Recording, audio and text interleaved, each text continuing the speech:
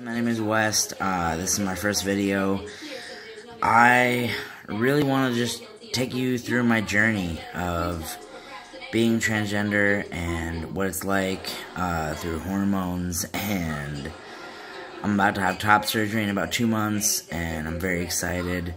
Uh, my wife is a great support. My friends are a great support. My family. Um, it wasn't always like that though. My my family originally wasn't supportive, uh, but they are now, and I just can't wait. So uh, we'll see here. I'll give you an update as top surgery gets closer. Um, I am a year and two months post testosterone, so as you can see, I've got uh, quite a bit of facial hair. Uh, my voice is deepened. Um, my face has changed, but I'll uh, I'll show you that here soon. So, take a look.